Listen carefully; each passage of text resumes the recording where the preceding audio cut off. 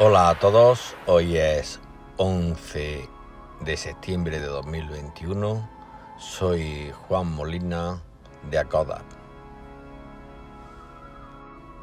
20 años del 11S es una cifra lo suficientemente redonda como para tenerla en cuenta. En el vértice de la pirámide de todos los servicios de información está Margarita Robles.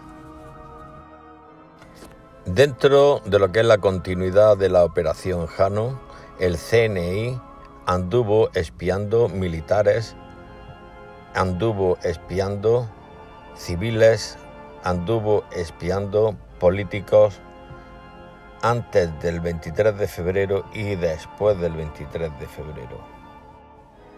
Las listas de militares franquistas que encarga supuestamente Amena Margarita Robles son una información perfectamente elaborada.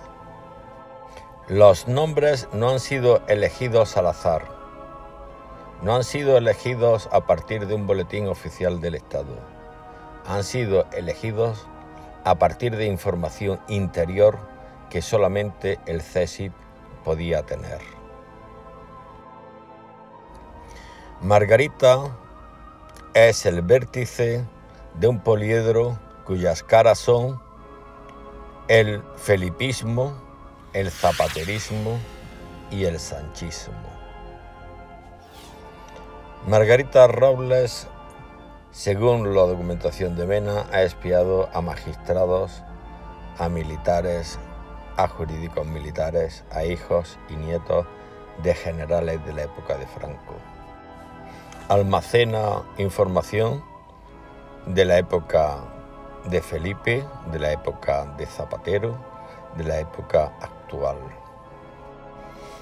Es el vértice de la pirámide, Margarita, de todo lo que es el espionaje ilícito.